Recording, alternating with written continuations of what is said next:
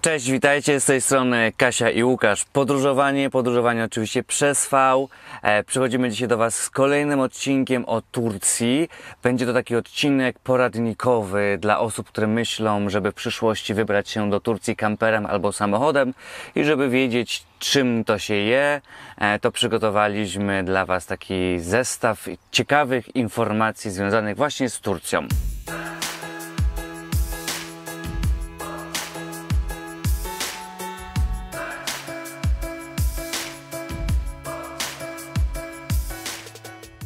Turcja znajduje się poza Unią Europejską, także na granicy czekają nas pewne procedury. Żeby wjechać do Turcji potrzebujemy paszport, ponieważ do paszportu zostanie wbita nam pieczątka. Jest to pieczątka z wizą. Wiza turystyczna wynosi 90 dni i to właśnie tyle możemy przebywać w Turcji jako turyści. Jeśli jedziemy samochodem, na granicy musi być obecna osoba, na którą ten samochód jest zarejestrowany, albo musimy posiadać e, odpowiedni dokument, upoważnienie, że możemy prowadzić ten samochód. Na granicy sprawdzana i wymagana jest również zielona karta.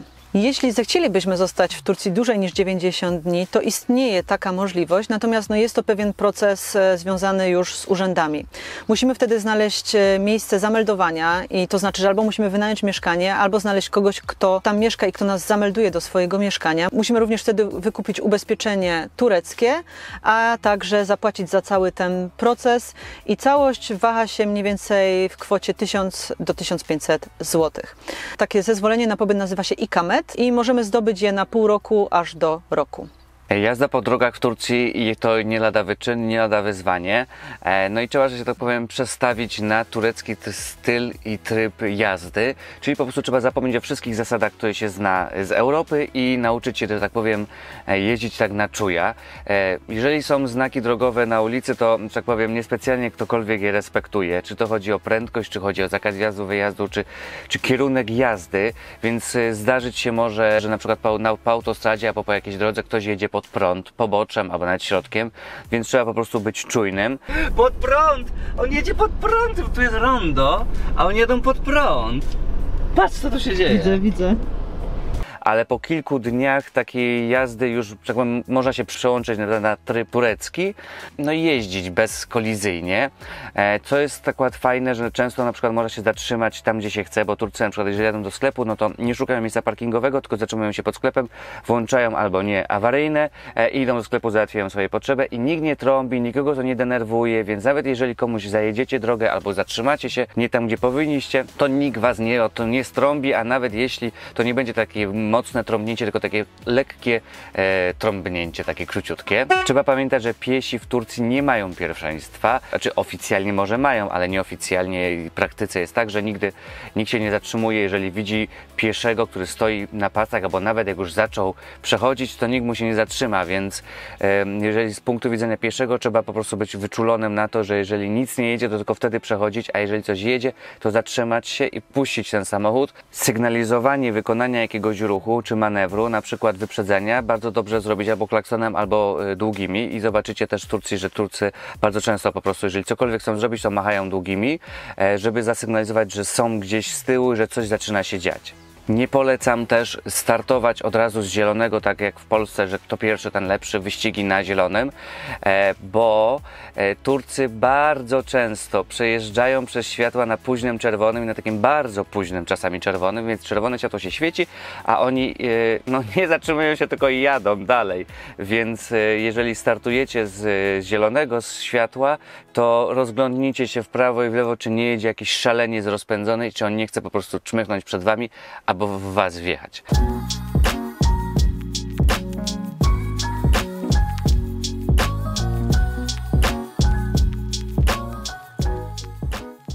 Jakość dróg w Turcji jest zaskakująco dobra. Autostrady są bardzo szerokie, trzypasmowe, są płatne i żeby jeździć autostradami płatnymi trzeba mieć po prostu taką naklejkę HGS. E, to jest y, taki automatyczny system poboru opłat. Tą naklejkę kupuje się na poczcie. Wystarczy iść na pocztę, powiedzieć, że się chce kupić HGS. Tam się wypełnia na miejscu taki formularz, krótki formularz i musi to zrobić właściciel auta albo osoba, która ma upoważnienie do tego, że po prostu może prowadzić ten samochód. W naszym wypadku samochód jest na Kaśkę, więc Kaśka musiała jechać, iść na pocztę z paszportem i z dowodem rejestracyjnym. Musiała wypełnić ten dokument, e, uiścić opłatę e, i później doładować sobie tą kartę. Tą kartę można doładowywać zawsze na poczcie. A stan konta, e, jaki pozostał, można do niedawna było sprawdzić w aplikacji HGS. Natomiast teraz troszeczkę po aktualizacji ten, ta aplikacja się zmieniła i trzeba się chyba logować, e, więc to musielibyście sobie sprawdzić. Ewentualnie można iść na pocztę i poprosić o sprawdzenie i oni to na poczcie w okienku sprawdzą. Istnieje jeszcze inna opcja, mianowicie e, podajecie numer telefonu turecki podczas rejestracji. To jest akurat ważne i polecałbym najpierw kupić sobie e, numer telefonu turecki, a później dopiero iść kupować HGS-a, e, bo jeżeli przekroczycie mm, limit i wykorzystacie wszystkie środki albo pula że tak powiem, zgromadzonych środków e, się zacznie zbliżać do zera, to dostaniecie ostrzeżenie albo wezwanie do zapłaty i wtedy 15 dni jest czasu na to, żeby mm, iść na pocztę i uregulować rachunek. Jest jeszcze trzecia opcja, jeżeli środków na koncie będzie bardzo mało, a rachunek będzie bardzo duży, na przykład 100-200 lirów za przejazd, to wówczas, żeby otrzymacie taki kredyt, bo bramki się nie otworzą, więc żeby bramki się otworzyły, to trzeba wtedy wcisnąć przycisk i zabrać taki kwitek e, i z tym kwitkiem trzeba będzie się udać do Finanzbanku, nie do, Zirat Banku, bo mogą Was Finanzbanku nie chcieć obsłużyć na początku, bo nie będą wiedzieć o co chodzi. E, więc trzeba po prostu iść i powiedzieć, że chce się zapłacić ten, z tym kwitkiem trzeba się to zapłacić i Finanzbank to jest bank, który już trzy razy miałem okazję tam płacić takie kwity. Pocieszeniem jest też to, że nie wszystkie bramki działają i często można przejechać po prostu bezpłatnie przez jakieś odcinki autostrady temat internetu, warto sobie zabrać ze sobą jakiś modem e, i do niego kupić kartę SIM, żeby mieć internet Wi-Fi w całym tym wanie, albo po prostu włożyć kartę do swojego telefonu i korzystać z telefonu lub udostępniać z telefonu. E, Są trzy takie większe sieci e, w Turcji. Jest Turkcell, Turk Telekom oraz Vodafone. No i w zasadzie każda oferuje podobną jakąś cenę za internet, podobne usługi i nie ma moim zdaniem jednej najlepszej oferty. My korzystaliśmy na początku z Vodafona, ponieważ tam można było sobie włączyć takie pakiety na nielimitowany YouTube i nielimitowany Instagram, natomiast było to dosyć kłopotliwe, trzeba było chodzić w aplikacji, korzystać. Potem się przerzuciliśmy na Turkcell.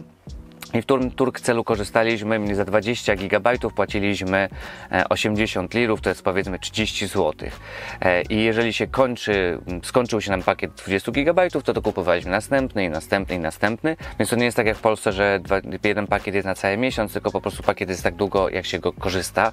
E, Więc jeżeli nam się na przykład po dwóch czy trzech dniach skończył pakiet, to chodziliśmy do Turkcela i kupowaliśmy nowy. Można też to robić z poziomu aplikacji. E, Z doświadczeń naszych innych znajomych wiemy, że jest też bardzo dobra oferta w Turk Telekom e, i tam za 40 GB płaciło się 120 lir, więc to był z tego co wiem największy pakiet jaki można było kupić. E, Nie ma pakietów nielimitowanego internetu tylko po prostu takie no, 20, 30, 40 gigabajtów. E, No w zależności od tego, gdzie kupicie, to e, taką ofertę będziecie mieć. E, No, my polecamy ten Turk Telekom i Turk Cell, bo to są po prostu sprawdzone usługi. Vodafone w niektórych miejscach nie miał też zasięgu, więc to, miał, to był minus tego. Kartę startową kupuje się z paszportem, trzeba iść do oficjalnego jakiegoś salonu. Mniej więcej karta startowa kosztuje 170 lir, to się też może zmienić, może to być droższe niedługo. I w tej kwocie 170 lir jest zawsze jakieś tam gigabajty są. No ale przez to, że Turcja nie jest w Unii Europejskiej, ten internet jest konieczny, żeby móc tam funkcjonować, żeby cokolwiek sprawdzić, bo y, internet z Unii Europejskiej roamingowy jest niesamowicie drogi, więc od razu zbliżając się nawet do Turcji proponuję wyłączyć pobieranie danych i też zablokować możliwość pobierania danych w roamingu w telefonie, bo inaczej rachunek może być kosmicznie wysoki, więc y, jak tylko przejedziecie do Turcji, to kupcie sobie internet i dopiero później załatwiajcie wszystkie inne sprawy.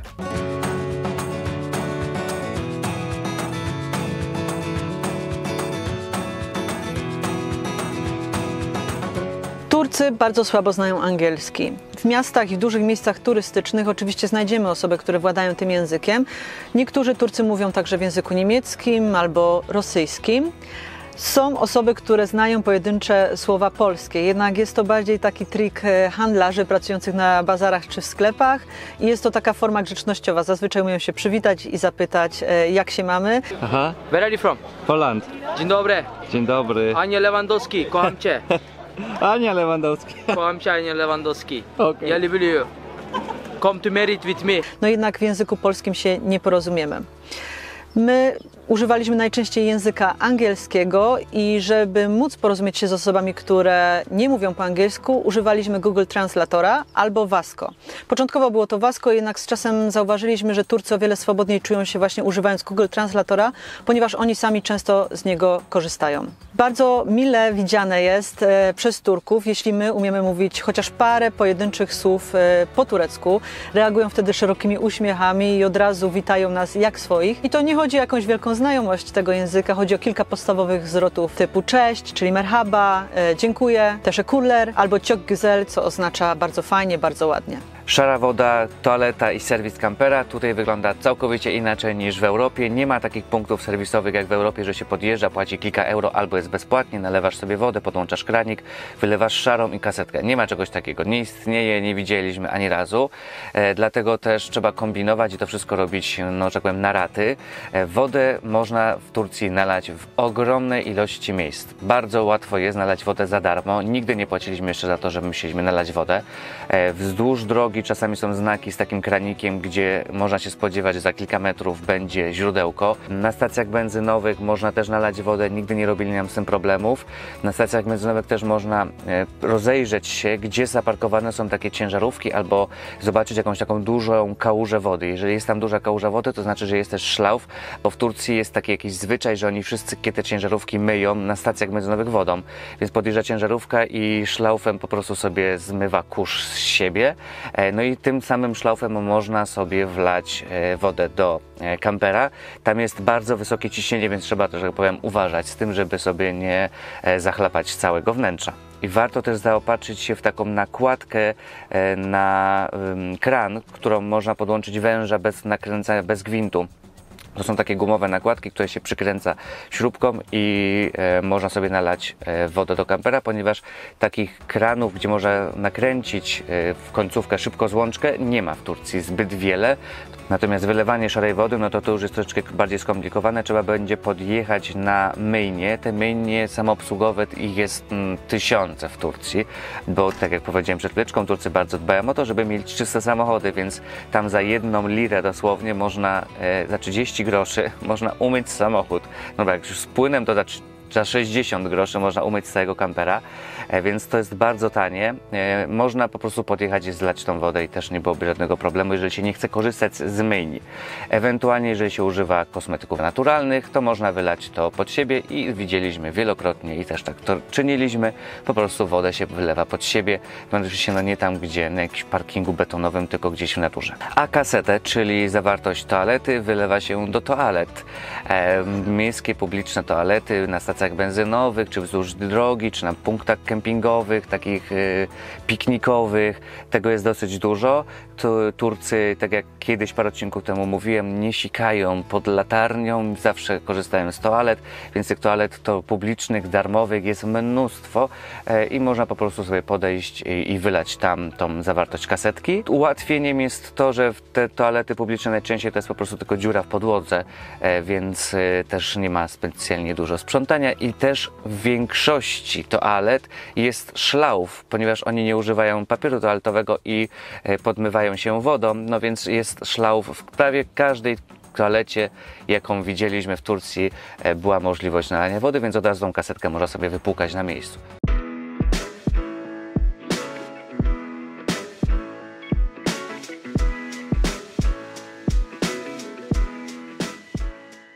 W Turcji znajdziemy praktycznie wszystkie te same produkty spożywcze, które mamy w Polsce i w Europie, mm, z kilkoma wyjątkami, więc może zacznę od tych wyjątków. E, Ciężko jest o dobrą kawę, także jeśli jesteście smakoszami kawy i macie swoje ulubione e, rodzaje kawy, warto zabrać ją ze sobą. Jeśli tak jak i my kochacie majonez kielecki, to także warto go ze sobą zabrać. Bardzo trudno jest o wieprzowinę, także jeśli lubicie robić ogniska i smażyć na nich takie prawdziwe polskie kiełbaski, to też można sobie kilka z nich zabrać. To, co nas najbardziej zaskoczyło, to to, że tam nie ma pietruszki w korzeniu. Jeśli lubicie gotować rosoły i takie tradycyjne polskie zupy, to dobrze mieć ze sobą e, chociaż mały zapas. Alkohol również dostępny jest w Turcji, natomiast jest on e, trochę droższy. Jeśli chodzi o wina, to z tego co mówili nasi znajomi, niestety Turcja nie ma do zaoferowania zbyt wielu dobrych win. Są to raczej wina słodkie, dosyć ciężkie, niekoniecznie smaczne, także jeśli jesteście winiarzami, smakoszami wina, to także warto zaopatrzyć się w kilka butelek. Od razu powiem Wam, że musicie sprawdzić sami, jakie są limity właśnie wywiezienia tego alkoholu, bo w tym się nie orientowaliśmy. Lokalnym tureckim alkoholem jest e, wódka anyżowa, raki i ona jest dosyć e, łatwo dostępna, szczególnie w dużych miastach i zachodniej części Turcji, która jest mniej tradycyjna. Jeśli chodzi o miejsca, gdzie można robić zakupy, to z naszego doświadczenia najtańsze sklepy to A101, SOK oraz BIM. Jednak są to sklepy, które posiadają taką bardzo podstawową ofertę, także nie ma tam zbyt dużego e, wyboru produktów. O wiele lepiej zaopatrzony jest sklep, który nazywa się Migros. Migros jest troszeczkę droższy niż wcześniej wymienione przeze mnie sklepy, ale jest pewna opcja, która pozwala Wam te zakupy robić taniej i którą chcielibyśmy Wam bardzo polecić. Chodzi o kartę MoneyCard. Taką kartę możecie kupić u ekspedienta albo ekspedientki. Po prostu podchodzicie do nich, mówicie, że chcielibyście taką kartę dostać. Trzeba za nią e, zapłacić e, jakąś drobną opłatę. My chyba płaciliśmy dwie liry. Kiedy robicie zakupy, to wtedy musicie przy kasie od razu dać tą kartę. Zanim zacznie kasjer kasować wasze produkty, dajecie ją i dzięki temu potem będą naliczane e, zniżki. W sklepie na półkach zobaczycie ceny produktów, które są na promocji, będą specjalnie wyróżnione i z tych promocyjnych cen możecie korzystać właśnie tylko mając tą kartę. Jeśli chodzi o migrosy, to jest ich kilka rodzajów i są to od najmniejszego, Migros Jet, przypominające naszą żabkę, przez Migros MM, 3M, 4M, aż do 5M, który jest naprawdę wielkim hipermarketem i wiadomo, im większy Migros, tym większa różnorodność produktów. Najfajniejszą chyba opcją do robienia zakupów są oczywiście bazary. E, z bazarami jest tak, że one odbywają się zazwyczaj niecodziennie. E, wyznaczone są jakieś tam poszczególne dni w tygodniu i wyznaczone są też poszczególne miejsca w mieście. Dlatego warto zapytać kogoś lokalnego, kiedy i gdzie możemy na taki bazar trafić. Olbrzymim plusem tych bazarów jest to, że możecie tam kupić produkty świeże bezpośrednio często od rolników. Mm, zazwyczaj ceny są tam także niższe, ale warto najpierw zrobić takie pewne rozeznanie na rynku i zobaczyć, jakie mniej więcej są ceny za dany produkt, na przykład warzywa czy owoce, żeby was tam nikt nie oszukał. Właściwie to nie chodzi o oszustwo, tylko o to, że Turcy mają taką manierę, że czasami lubią na turystach e, zarobić, czyli doliczyć ekstra cenę, korzystając właśnie z tej niewiedzy, ale to nie jest nic złośliwego, tacy oni po prostu są, dlatego właśnie wspominam o tym, żebyście najpierw zrobili rozeznanie e, i dowiedzieli się, ile dany produkt kosztuje. Temat pieniędzy teraz. Waluta w Turcji obowiązuje turecka lira, natomiast w miejscach turystycznych bez żadnego problemu też zapłacicie euro. Jeżeli chodzi o wypłaty z bankomatów, to bankomatów jest dosyć dużo i najczęściej są one poustawiane jeden obok drugiego. Nie wiedzieć czemu Turcy po prostu korzystają z takiej ogromnej sieci e, bankomatów, ale to jest akurat plusem dla nas, ponieważ tych bankomatów jest dużo i zawsze można sobie wypłacić e, z tego, który nie pobiera prowizji, ponieważ większość bankomatów w Turcji pobiera prowizję, za wyjątkiem trzech, e, które my sprawdziliśmy. To jest tak, Ziraat Bank, ING Bank oraz Halk Bank. To są trzy bankomaty, z których możecie wypłacić e, środki bez e, konieczności opłacenia jakiejś prowizji dla banku. E, Natomiast jeżeli macie karty, czy tam Revolut albo Zen, my teraz się z Revoluta, jak wiecie, przerzuciliśmy na Zen, ponieważ tutaj jest korzystniejsza oferta, naszym zdaniem i dla nas, e, to po prostu możecie sobie z tą kartą, wkładasz kartę, wypłacasz pieniążki i też Zen nie pobiera żadnych opłat, Revolut chyba też, nie pobierają po prostu żadnych opłat za wypłatę. Bankomat nie pobiera ci nie pobierają, więc po prostu te płaty są bezpłatne. Więc przed wyjazdem do Turcji warto, że tak powiem, zabezpieczyć się i kupić sobie taką kartę, e, żeby nie tracić na przewalutowaniu i na prowizjach. Płacić kartą można prawie wszędzie, w bardzo wielu miejscach można płacić, no oczywiście poza marketami albo jakimiś ulicznymi sprzedawcami, to w sklepach i restauracjach prawie wszędzie można zapłacić kartą. Warto jest mieć przy sobie gotówkę, jakieś kilkaset lirów, żeby zapłacić za jakieś takie drobne rzeczy. Nie będziemy Wam mówić o cenach w Turcji, ponieważ ceny w Turcji się zmieniają zmieniają z dnia na dzień. Na tę chwilę inflacja oficjalna wynosi 36%, natomiast ekonomiści mówią, że jest to na poziomie 80% i to naprawdę widać, ponieważ na przestrzeni tych trzech miesięcy paliwo tutaj podrożało o 100% e, i w, w zasadzie wszystko drożeje z dnia na dzień. Jedyne co jeszcze nie podrożało to jest chleb, natomiast czy kawa, czy herbata, e, czy jedzenie na mieście widzimy na przestrzeni tych trzech miesięcy, że to po prostu ceny się znacznie zmieniły. No i podejrzewam, że ta tendencja będzie nadal taka sama i będzie to wszystko drożało, więc do przyszłych wakacji może być jeszcze drożej. Dlatego teraz nie będziemy Wam mówić, ile co kosztuje.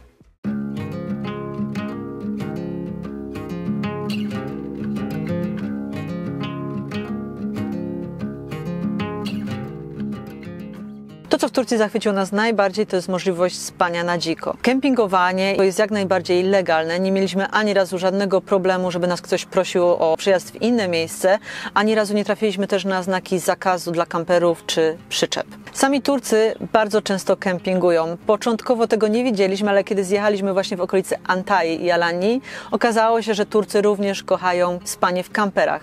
W samej Alanii trafialiśmy na wiele, wiele ulic, które były praktycznie szczelnie zaparkowane kamperami. Zazwyczaj gdzieś obok była także toaleta i miejsce do czerpania wody, także swobodnie możecie zatrzymywać się zarówno na dziko, jak i w mieście. Sami Turcy uwielbiają spędzać czas na zewnątrz. Bardzo częstym widokiem są ludzie siedzący na krzesełkach, na trawniku albo gdzieś właśnie przy plaży. E, osoby, które robią ogniska, osoby, które mają takie specjalne piecyki, na, którym, na których parzą herbatę. Także jest to bardzo popularny sposób spędzania czasu. Przez to Turcy nie dziwią się nam, ludziom mieszkających kamperach i właśnie kempingujących sobie e, gdzieś w różnych okolicznościach przyrody. Nie wzbudzamy w ogóle wrogości, wręcz przeciwnie, zaciekawienie i olbrzymi uśmiech na twarzy. Często Turcy sami do nas podchodzą, zagadują, zaglądają do vanów, są nas ciekawi i chcą nas ugościć. Jeśli chodzi o wyszukiwanie miejscówek, to możecie skorzystać z Park 4 Night, natomiast baza tam jest niepełna. Spokojnie możecie używać e, Google Maps, znajdywać sobie miejsca, które wydadzą Wam się e, ciekawe albo odpowiednie odpowiednie pojechać i samemu odkrywać oraz sprawdzać. My robiliśmy tak wiele razy i zawsze trafialiśmy w wyjątkowe i piękne miejscówki. Część z Was może interesować temat ubezpieczenia. Tak jak Kasia powiedziała, należy mieć ze sobą zieloną kartę. E, my poza zieloną kartą mamy też ubezpieczenie podróżne. Kupiliśmy je z PZM i to jest pakiet Bon Voyage, jeżeli dobrze pamiętam. I to jest taki pakiet roczny, ubezpieczenie na rok. E, I, no i w zasadzie tyle mamy, ponieważ pakiet Assistance nie działał w Turcji po części azjatyckiej. Pakiet Assistance działa tylko w części europejskiej, czyli w zasadzie tylko do połowy Stambułu. Natomiast później już nie mamy, niedziałający jest e, pakiet Assistance. W razie awarii można ewentualnie podprowadzić samochód na stronę europejską i zadzwonić wtedy, natomiast usługi naprawcze w Turcji są dosyć tanie, więc chyba by się to nawet nie opłacało. Jeżeli chodzi natomiast o ubezpieczenie w ogóle samochodu i assistance, bo też się pojawiają często takie pytania i wy nas pytacie, jakie my mamy ubezpieczenie i gdzie kupiliśmy, to my już od ponad roku korzystamy z usług naszego znajomego, naszego znajomego widza, Marka, którego serdecznie pozdrawiamy. I Marek ma swoją agencję ubezpieczeniową, jest brokerem i on załatwia e, ubezpieczenia dla kamperów, więc zarówno ten kamper, jak i ten nasz stary, e, on są ubezpieczone już dzięki Markowi i mamy naprawdę bardzo niską cenę. Żaden, żadna porównywarka nie dała nawet zbliżonej ceny do tej, którą Marek nam zaproponował, e, więc jeżeli ktoś z Was chciałby ubezpieczyć kampera, e, samochód albo coś, albo siebie, albo życie, to dom, to pod spodem w opisie Wam zostawiam numer do Marka, bo są super ceny u niego i no, nie ma szans po prostu w internetowej porównywarce e, dostać lepszych cen niż Marek nam załatwił. Tak samo Marek jest pośrednikiem w PZM-ie, więc jeżeli ktoś chce kupić ten Assistance czy ubezpieczenie podróżne z PZM-u, to też można się do niego zgłosić. On wypełnia papiery e, i Wam to załatwia i jest to po prostu szybko i łatwo załatwione. Turcja jest bardzo bezpiecznym krajem. E, my czuliśmy się naprawdę bardzo bezpiecznie. E, nie ma tam żadnego poczucia zagrożenia. Nie widzieliśmy żadnych włamań, nie słyszeliśmy o włamaniach. Często policja przyjeżdża na miejscówki, gdzie śpią e, kampery i ostrzega też i mówi, że po prostu mają tutaj oko na to miejsce i żeby się też nie martwić, ale żeby też zwracać uwagę na jakieś podejrzanych typów i zamykać samochód. Natomiast my nigdy nie spotkaliśmy żadnego podejrzanego typa, więc jeżeli się martwicie o bezpieczeństwo swoje lub kampera, to nie musicie się, że tak powiem, martwić ponieważ naprawdę Turcja jest bezpieczniejsza niż w niejednym kraju europejskim.